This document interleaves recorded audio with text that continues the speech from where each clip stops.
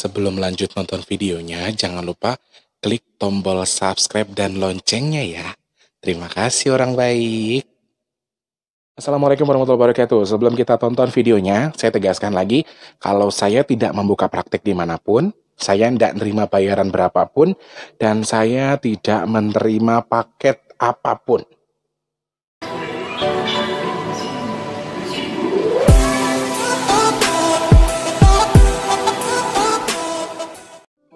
Assalamualaikum warahmatullahi wabarakatuh orang baik. Salam sejahtera untuk kita semua orang baik.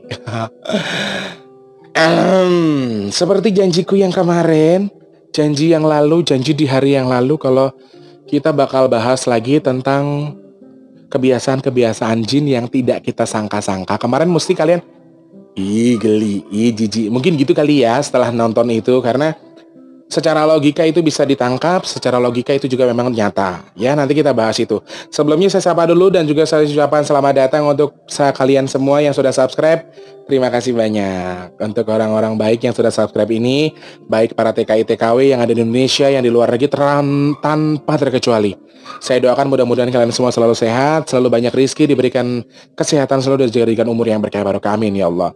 Satu hal lagi yang perlu kita tahu untuk kalian yang mau deket sama saya, mau chat sama saya di WhatsApp bisa langsung follow Instagramku di bigtulus underscore bp2. Kalau udah WhatsApp, udah IDM, jangan baper-baperan ya, sabar ya. Kan saya juga harus kerja untuk hidup saya sendiri. Saya kan nggak dapat gaji dari YouTube, dapat. Belum ada apa-apanya, belum bisa dicairkan, masih panjang prosesnya. Kecuali saya dapat gaji nggak apa-apa lah ya. Kalau sekarang belum guys, jadi saya tetap harus kerja. Saya tetap harus berusaha, saya tetap harus bikin vlog tapi juga sambil jualan gitu ya. Jadi mohon kesabarannya, nggak usah baper-baper. Yang mau masuk di grup orang baik, rumah orang baik, bisa langsung di Instagram saja di DM kan nomor teleponnya dan nomor WhatsAppnya nanti aku inbox aku aku input langsung ke situ ya. Terima kasih banyak untuk yang sudah like, subscribe juga komen untuk yang belum dibantu dong, subscribe dan juga komen. Suka bola di like, nggak suka di dislike juga nggak apa-apa ya. Oke, kita pembahas ke pembahasan selanjutnya kebiasaan-kebiasaan jin. Oke, kemarin ada perlu ada yang perlu saya revisi. Beberapa di informasi adalah ada yang sampai bilang begini Mas Tulus berarti kalau keluar dari kamar mandi pakai handuk itu telanjang. Enggak, itu enggak telanjang dong, guys. Makanya kan aku pernah dulu dikasih tahu sama Pak Deko. Pak Deko itu dulu pemangku masjid. Le, kalau wudhu itu pakai handuk nggak boleh telanjang. Nggak tahu saya sih nggak nggak tahu ya. Itu ada hadisnya atau ada apanya aku nggak tahu. Aku belum pernah baca. Cuman Pak Deko selalu ngarang. Le, kalau kalau misalnya kamu sudah mandi terus kamu mau sholat, wudhunya pakai handuk dulu ya, jangan telanjang. Intinya kita pakai handuk. Itu Pak Deku dulu selalu ngingetin itu. Pak Demi Swandi namanya. Dulu kalau aku habis habis mandi, bahkan habis main mau sholat maghrib tuh kan kita langsung wudhu ya. Nah langsung wudhu tuh kalau bisa jangan telanjang ya guys. Aku ingatkan sekali lagi. Wudhu jangan sambil telanjang karena itu ya kesukaan jin akhirnya nanti kalian wudhunya nggak khusyuk kalian dipikir begini-begini akhirnya kalian sholatnya nggak sah karena wudhunya nggak khusyuk nggak bener nah itu yang perlu difikirkan hati-hati yang perlu saya revisi dari kemarin adalah beberapa komentar orang yang mengatakan, oh berarti saya keluar dari kamar mandi pakai anduk itu nggak boleh ya Mas Tulus. Bukan itu yang saya maksud. Telanjang adalah kalian tidak menggunakan apa pun. Keluar dari kamar mandi keluar gitu. Jadi dulu temanku suka kayak gitu. Lu geli kali ngeliat lu begitu ya. Ya meskipun kita sama-sama laki-laki kan ya mbok yao gitu loh. Kan geli ya guys. Keluar kamar mandi. Kadang-kadang mandi nggak bawa anduk. Toto langsung masuk saking malesnya. Keluar telanjang. Nah itu yang nggak boleh. Jadi kalau kalian masih pakai handuk keluar dari kamar mandi itu namanya nggak telanjang sih. Itu nggak nggak nggak termasuk telanjang. Jadi pakai handuk keluar itu berarti bukan telanjang. Itu yang perlu kita perbaiki ya. Perlu kita revisi. Bukan berarti telanjang tuh kamu pakai handuk dibilang telanjang nggak. Bukan berarti kamu harus pakai baju di kamar mandi nggak juga yang penting kamu keluar pakai baju, pakai handuk, ya. Kenapa kok wudhu nggak boleh telanjang Mas Tulus? Nggak tahu karena Pak Deku dulu bilangnya kayak gitu. Terus aku ngeliat si aku dulu punya kakak anaknya si Pak D itu wudhu habis mandi ya asal asal habis kita kan mandi bareng-bareng dulu ya guys mandi bareng terus dia wudhu tapi telanjang ih gini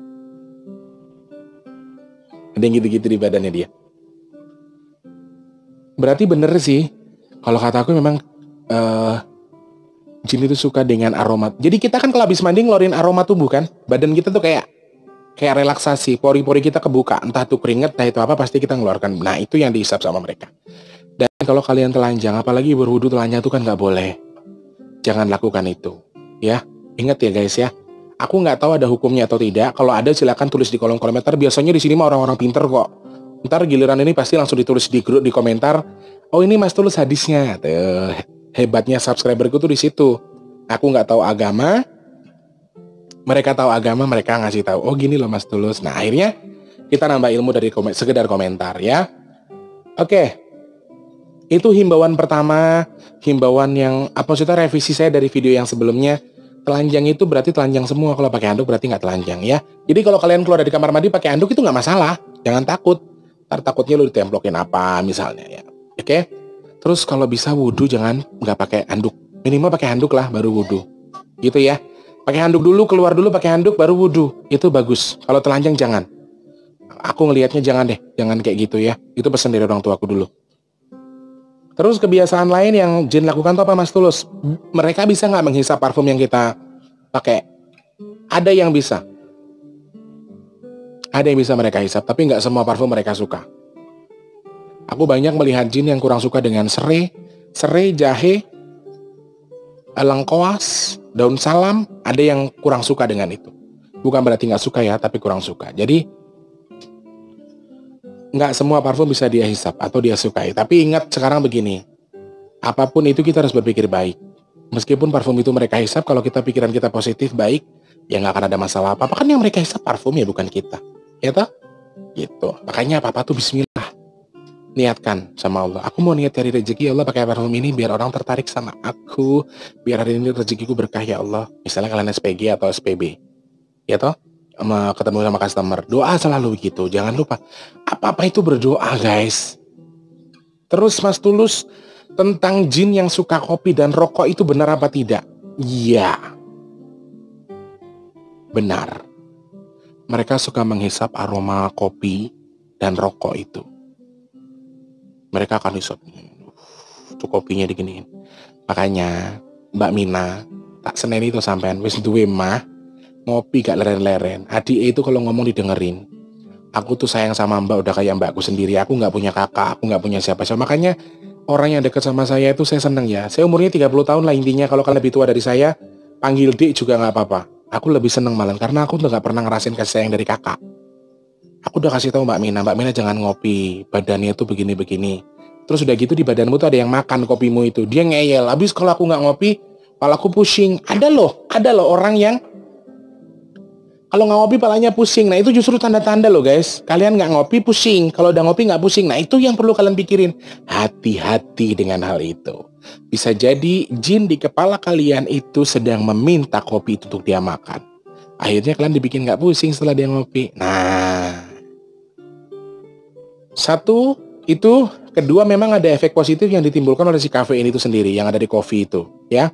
Eh kafein atau apa gitu, zat apa gitu yang bisa menetralkan itu. Tapi kita tetap nggak harus nggak harus berpikir, oh kalau gue pusing gue ngopi berarti gue ada jinnya dong. Nggak juga kayak gitu. Cuma bisa jadi. Makanya kalau orang ngomong tuh didengerin di garis bawah seret. Oh begini toh. Nah gitu. Terus kalau kopi, kalau kopi kan memang dia berasa pada aromanya. Kalau rokok gimana Mas Tulus? Aroma tembakaunya yang mereka hisap. Ya, aroma tembakaunya. Pernah ngeliat tukang rias pengantin nggak? Yang bahkan ada gendam, ada gendam atau hipnotis atau pelet yang bisa dilemparkan lewat asap rokok. Nah itulah kelebihan mereka. Karena mereka sebenarnya bentuknya orbs, mereka tuh bentuknya samar. Ya kayak asap kayak gitu. Mau mau kelihatan. Ada beberapa anak indigo yang bisa ngelihat jin tuh bentuk dulu. Awalnya kecil gede gede gede jadi asap jadi orang. Ada juga yang kayak gitu. Makanya itu mereka menyukai itu. Syukur-syukur di rokok. Di rokok lebih seneng dia. Makanya kadang-kadang ada jin dulu masukin jin leluhur nih masuk ke kita masuk ke teman kita mintanya rokok Sriwedari misalnya. Rokoknya gudang garam hijau misalnya ya.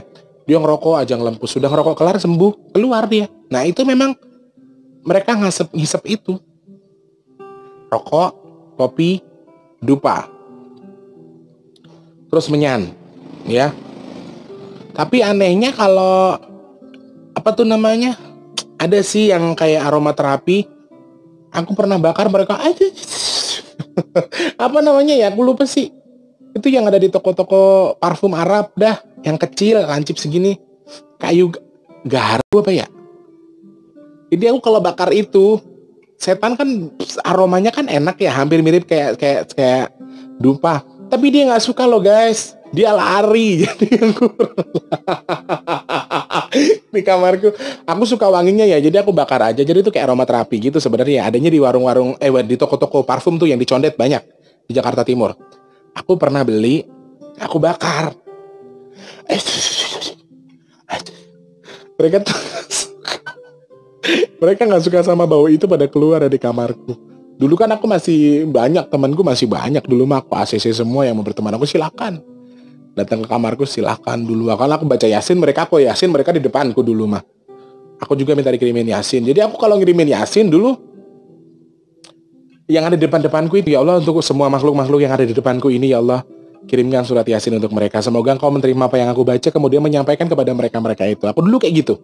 Jadi aku ceritanya bakar itu tuh kak, kayaknya kayu gaharu deh. Kayu gaharu apa ya? Itu aku bakar tuh mereka pada kabur, pada nggak suka. Tapi nggak tahu ya yang lain aku nggak ngerti. Jangan di jangan disamakan. Kopi, rokok, kebiasaan jin tadi itu. Satu lagi.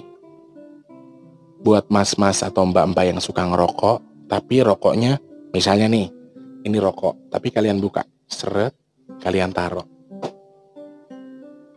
aku pernah ngeliat jin nggak nggak usah dua orang lain di sini hitam di Jakarta jadi AA aku ini AA Yana ini kalau ngerokok suka dibuka begini ditaruh begini. Maksud hatinya dia siapa pun yang mau ngerokok tinggal ngambil termasuk aku karena aku kan memang ngerokok ya. Jadi tapi aku nggak pernah beli rokok. Numpang doang coy. Biar irit nah. ah lo lo suara kalus iya iya iya. Jadi rokoknya cuma dibuka. Aku marahin dia. Ayah. Ayah tahu nggak? Ayah naruh rokok digituin, ada yang lagi begini.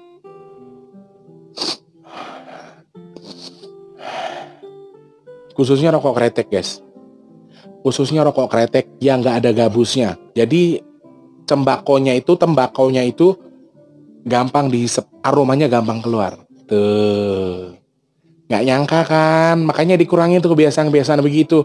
Ngerokok boleh, tapi kalau dibuka jangan dibuka kayak gitulah. Dibuka tutupnya loh guys, paham kan maksudnya? Dibuka doang, ditaro sambil lu ngobrol-ngobrol. Lalu pada ngobrol lu nggak sadar. Setannya begini.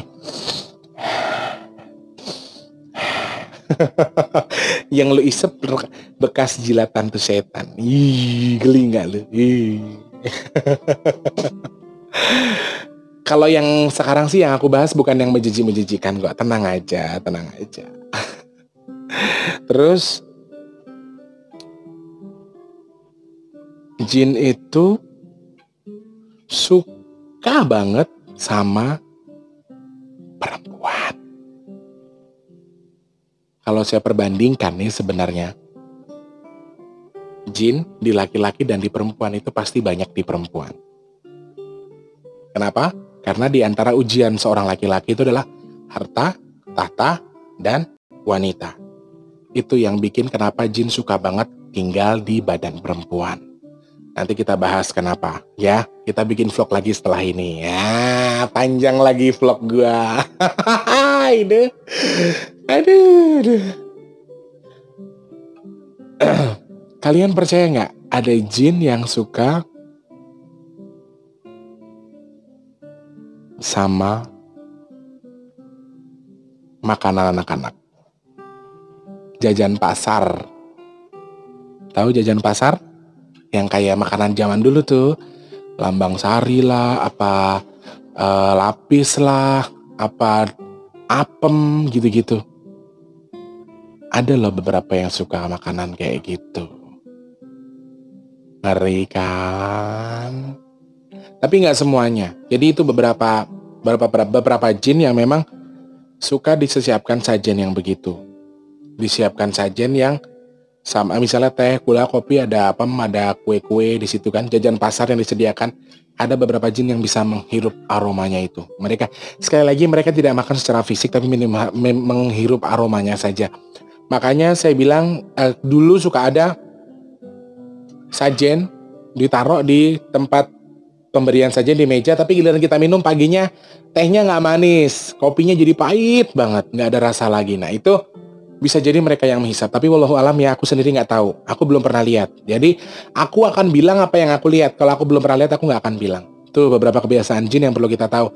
Di antaranya khususnya dengan rokok dan kopi rokok dan kopi kemudian parfum. Ada beberapa parfum yang mereka sukai. Ayo ayo hati-hati. Nah ada juga aduh ngomongnya gimana ya? Jin yang suka dengan orang yang suka kawin lagi alias nikah lagi. Bawaannya pengen nikah lagi bawaannya pengen nikah lagi itu ada juga guys selingkuh nikah lagi pokoknya cari cari cari pasangan selain pacar kita lah selain suami atau istri kita itu ada jin yang memang hobinya di situ. Seperti biasa yang dia kalian tahu lah yang dia makan. Nafsunya, kemudian amarah dari orang itu menggebu-gebunya itu itu yang dia dia makan. Oke, sementara segini aja dulu tentang jin yang part 2 masih banyak masih banyak lagi hal-hal yang perlu kita tahu. Ya. Masih ada beberapa lagi tapi nanti kita bahas lagi lah sementara segini aja dulu karena aku udah siang kayak sudah setengah sebelas aku belum buka warung ya Nanti kapan-kapan kita bikin vlog lagi, insya Allah kita ketemu lagi di vlog-vlog saya selanjutnya.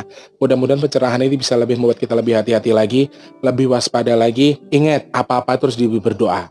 Apa-apa itu harus berdoa, melangkah berdoa, makan berdoa, meminum berdoa ya. Bismillah dulu, insya Allah kita terhindar dari sesuatu yang jin-jin itu suka lakukan terhadap kita. Oke, okay?